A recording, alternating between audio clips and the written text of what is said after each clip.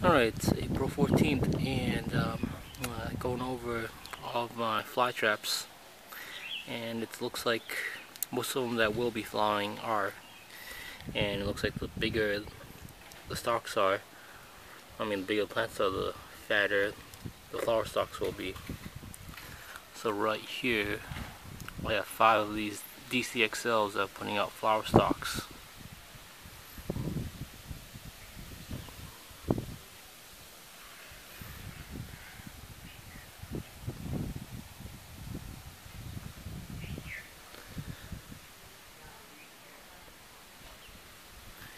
And here's my SD Kronos. All these are putting up flower stalks have been in the fridge for three months from the 1st of December till the 1st of March. This one has some white flies on it, but it's not an issue because there's these little spiders that eat them. And looks like the small ones don't put them out.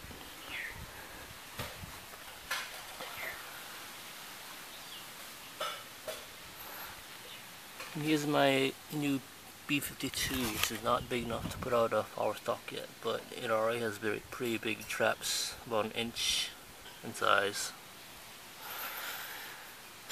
And here are the ones that I kept out all winter long. These are my SD Kronos. And the one thing that I find if I keep them all, all winter long is they're going to have this reddish coloration inside of the, the traps. But there's no flower stalks, no matter how big they are. For example, these two, or even these three, they're definitely big enough to put out flower traps, but since they're out all winter long, I guess I guess it didn't get cold enough for them to put out flowers. Here's the DCXL that was out all winter long. Did about half and half. If these start getting weaker, because they didn't really get a dormancy, I could easily just stick them in the refrigerator for, uh, for a couple more months. Which I might do if I see that they're falling quite a bit behind the ones I did uh, put in the refrigerator.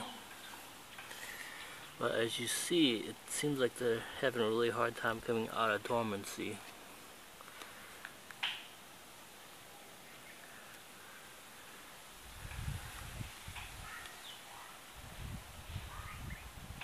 Probably give it a few more weeks and see if they actually start growing. If they don't, it might take a little bit of time in the fridge to get them what they need.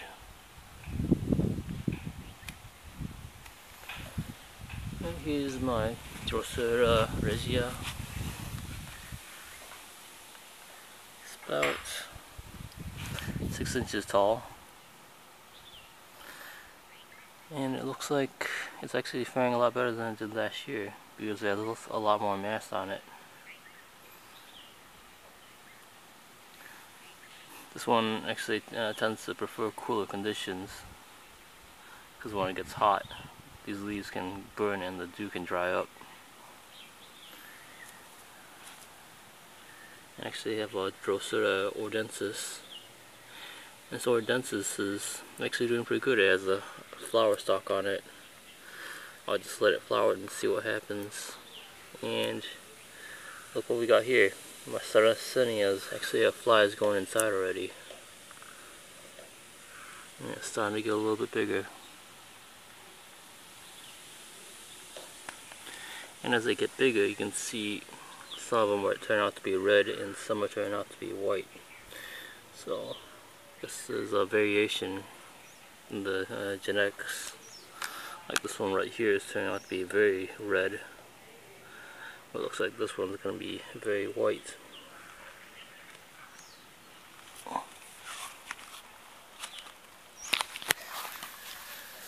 Got my Drosera capensis, which I might have to put inside the greenhouse. Doesn't seem to take the sun too well.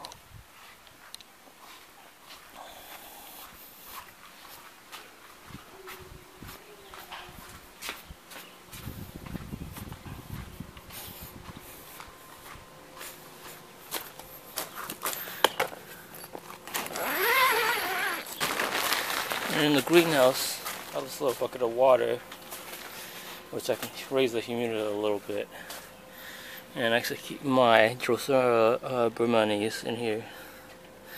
And which they kind of like. This one keeps on trying to put out flower stalks. And it's taking out a lot of its energy, so I've been taking it off.